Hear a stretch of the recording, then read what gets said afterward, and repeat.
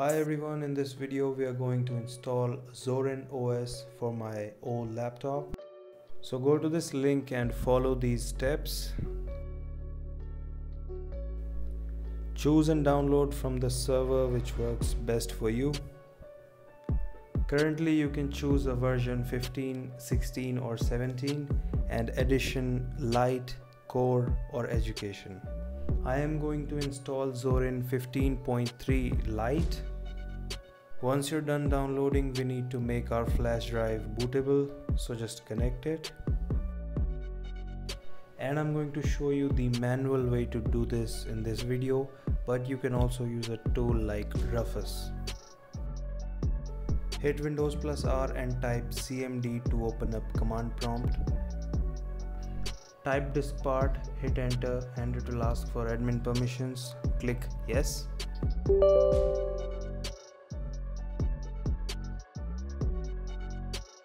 now in this new window type the command list disk. It will show you all the disks or storage devices on your system.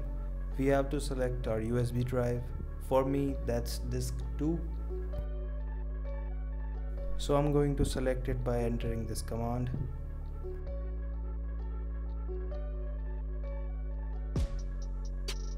Next just follow along and enter these commands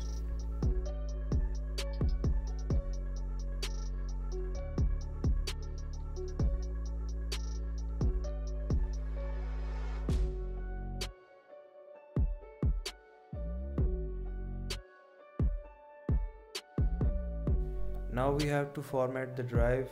For you this should work but for me I had to format to FAT32 if it isn't bootable try formatting to FAT, FAT32 like this.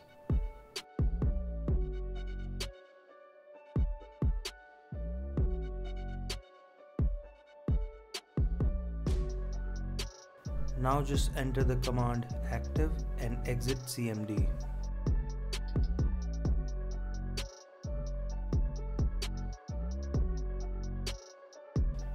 Now we just have to copy the files from the ISO file to the USB drive.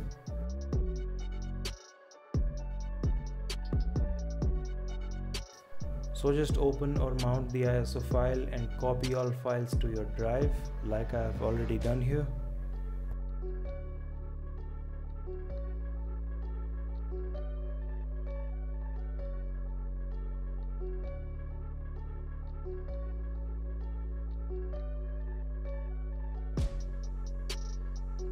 So this is my old laptop the asus e402sa i'm gonna plug the usb drive and power on.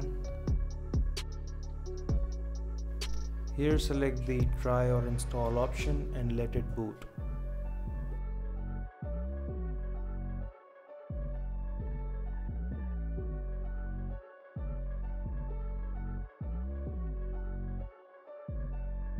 okay so this is Zorin and uh, we can check it out here before actually installing it. So do that and then click here on install Zorin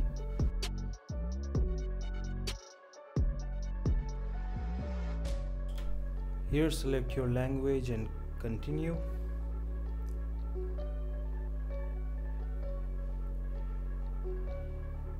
Just hit continue here again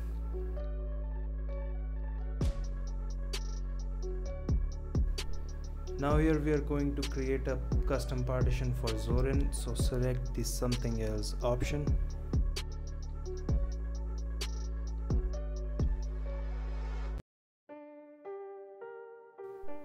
Here we have our disks and partitions. I have a 500 GB HDD and a single partition in that. So I'm gonna shrink this and create a new one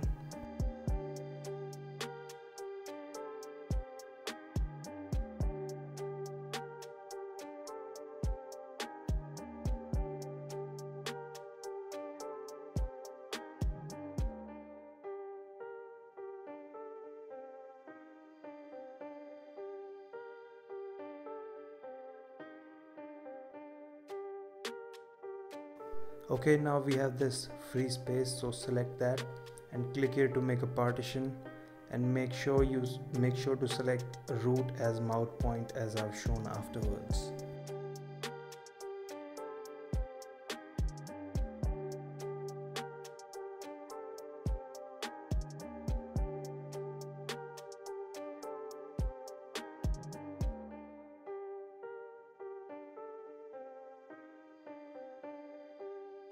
Now just select the partition we created and click on install now.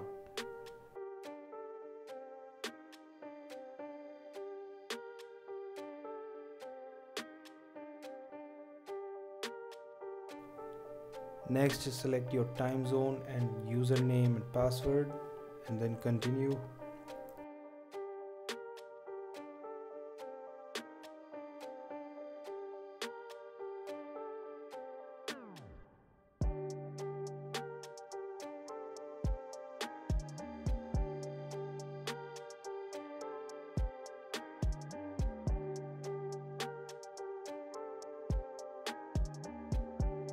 Okay guys, we're done installing Zorin. Now let's talk about what I think about it after using it. This laptop has 2GB RAM and an Intel dual core processor, so I only use it for browsing the web, watching something and backup. So I thought let's go for something light and see if it's better and yes it is.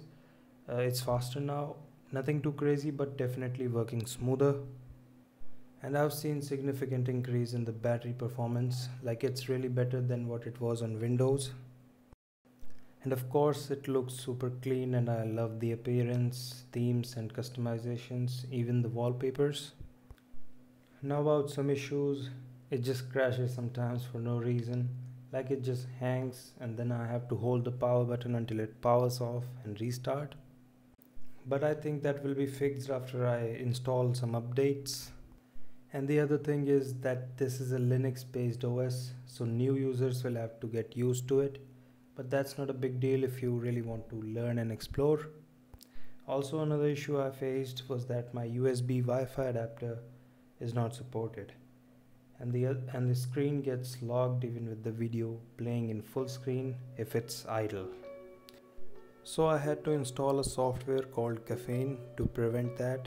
But overall I love it and I'm keeping it the Zorin OS. So thanks for watching. Hope this video helps.